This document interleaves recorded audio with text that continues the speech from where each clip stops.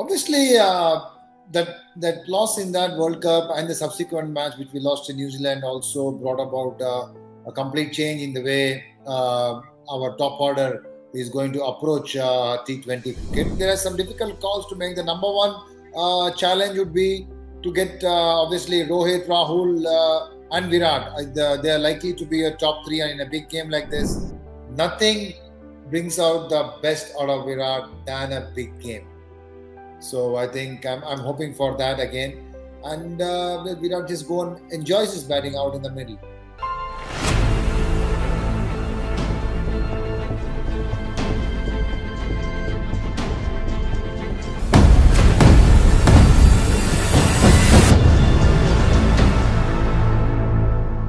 Well, it's that time of the year where we, of course, talk about big tournaments, and the Asia Cup is a no-brainer. And we have R. Sridhar who returns to our screens. First and foremost, Sri, looking dapper as ever. How have you been?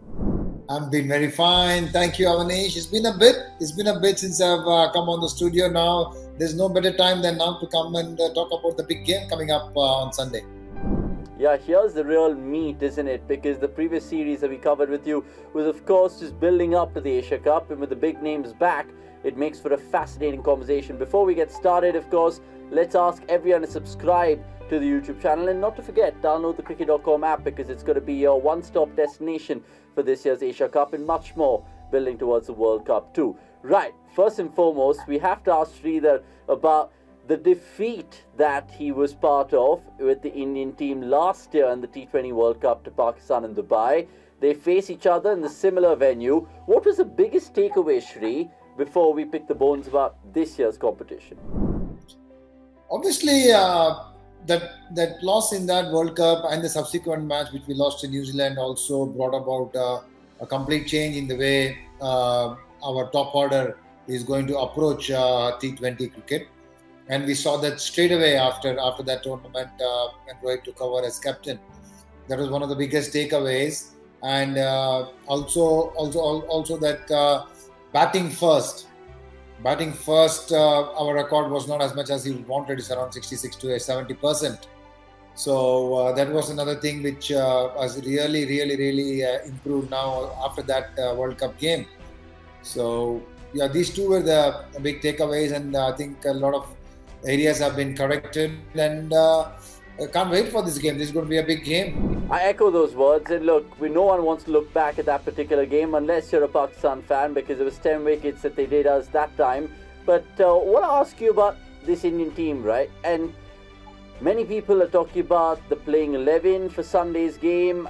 Have you already kind of decided who's playing in your head? And if so, who are those 11 members of Team India? Uh, it's, a, it's a tough call for uh, the team management to take. There are some difficult calls to make. The number one challenge would be to get uh, obviously Rohit, Rahul, uh, and Virat. Uh, they are likely to be a top three, in a big game like this, I don't see that moving away. Well, it will be a brave move to do that, and it will be a bold move as well. And the other challenge with the think tank is also whether they want to play Dinesh Karthik or not. That's another challenge. And obviously, most of the bowlers pick themselves, and uh, all the bowlers have got enough game time in the recent past.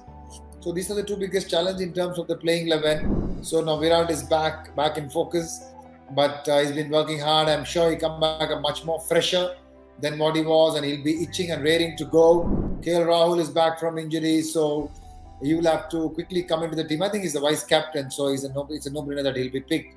Uh, he, will have to come in and, uh, straight away slightly pick up on his initial uh, strike rate. You know, he's someone who uh, bats with a strike rate of more than 140, but his initial first 10, 12 balls is somewhere he'll have to pick it up uh, with the new uh, uh, template with which the Indian team is playing. So it's not very difficult for them. He will do it very easily as well. Uh, and and that's the top three with Rohit KL and Virat, and then you have Suryakumar Yadav, and then you have Hardik. So that leaves you with either Rishabh or, or, or Dinesh. I mean, I was going to ask you that. It'll come down to pretty much the wicket-keeping slot there. And no Bumrah, of course, and that's uh, a no-brainer where we could perhaps fit in an Avesh Khan movie, and I'll talk about the bowling in just a bit. But you mentioned Virat there, returning to, of course, uh, the Indian side. How big a test would this tournament be for him? We saw him in the nets. He is preparing and training hard, sweating it out. Virat Kohli, what's in his mind right now? What do you kind of understand he's going to do? I think nothing is changing. He's batting well. It is not a test for him at all. I think uh, I would like to think that way. It's not a test for him. He just has to go there and enjoy his cricket, uh, like what he's always done. Done, and his preparations are on point. He's not someone who's going to go and bat for hours together in the nets. I, have seen Virat in the in the prime of his form. He just bats for 25, 30 minutes, gets done with what he wants to do, and he's up and ready. And a big match like this will bring out the best out of him. Nothing brings out the best out of Virat than a big game. So I think I'm, I'm hoping for that again. And uh, Virat just go and enjoys his batting out in the middle. Yeah, I mean, hopefully, from an Indian point of view, Virat Kohli does do wonders in this tournament and then builds up nicely the World Cup. We'll talk about Pakistan in just a bit, but like I promised the viewers, a bowling chat on India with regards to no Bumrah. Now, how will they cope without him? We've seen Bhuvi come to the fore recently. Arshdeep's been a big positive. Who would be your starting bowlers in this 11? Good question. Good question. Uh, who are the bowlers who would pick themselves, in your opinion? I mean, Bhuvi straight away, yeah. and then I think Arshdeep uh, has been doing well. Uh, so we have Harshal is injured, Bumrah not part of the squad. There's Avesh. Avesh Khan has been a little blow hot, blow cold. So uh, whether the think tank is going to back him in a big game like this, remember last time uh, uh, we played Pakistan at the same venue. Shami had a bad day. It is not his best day of the tournament as well. So he went for a few because they're going to come up with a very formidable opening pair of, uh, I think, Babar Azam and Mohammad Rizwan, who, who did the job for Pakistan last time we played. We played them. So whoever picks, whoever plays in the bowling attack, uh, everyone has got the skill sets to do well. What is more important is they bowl to the game plan.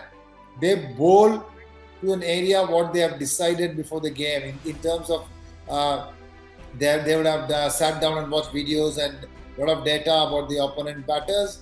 So they need to stick to the plan which they want to bowl. It is that is the most important thing in big games because the the, the, the, the big match atmosphere, the pressure can slightly cloud a bowler's mind and uh, make him do certain things which are not planned.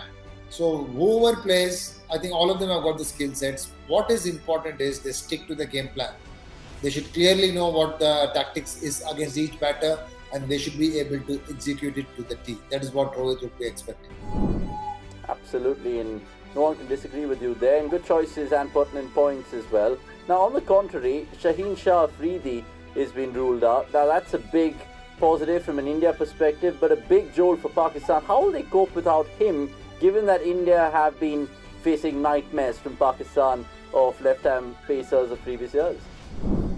I mean, yeah, I remember even way back in 2015 when India played Pakistan in the World Cup, uh, we had uh, three left-arm fast bowlers in the squad. They had three left-arm fast bowlers in the squad, but we did well against them.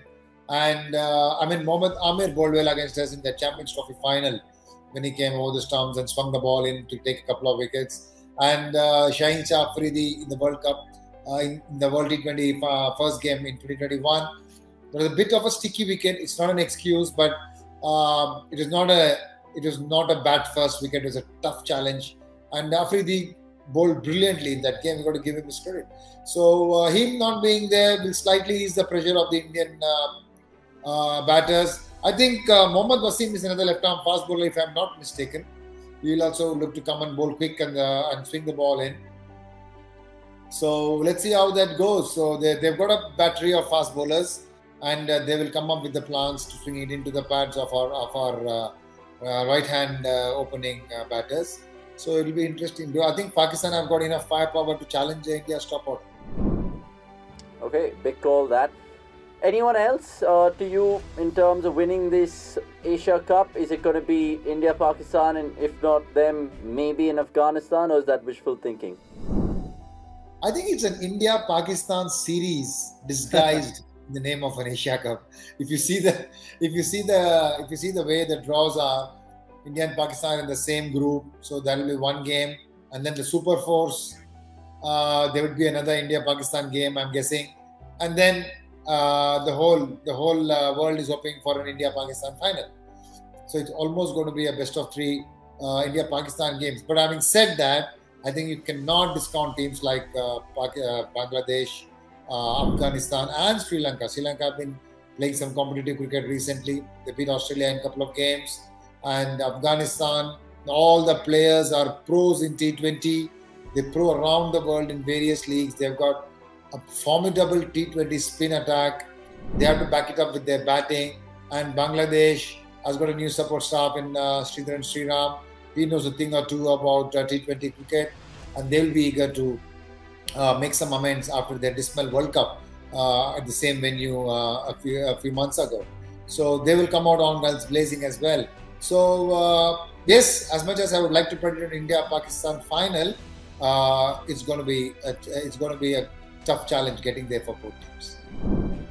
Okay, let's see how it all unfolds. Remember, the first game is on Saturday. You guys can catch it on cricket.com in terms of the live blog and the analysis. And we're doing a special watch along for the India Pakistan on Sunday evening. So that's going to be a first for us and hopefully a lot of fun for you guys back home. That's all from R. Sridhar, who, mind you, we will pick his brains throughout the Asia Cup about lots of things. And there's going to be great content as ever, including a dressing room story not just the Manchester win against Pakistan, but also the Dubai loss all of that and much more with this man himself, aka Sherlock Holmes. On that comical note, time to say goodbye on cricket.com, but plenty of match footage as well. As you can see, Sridhar is waving us goodbye. We'll see you soon.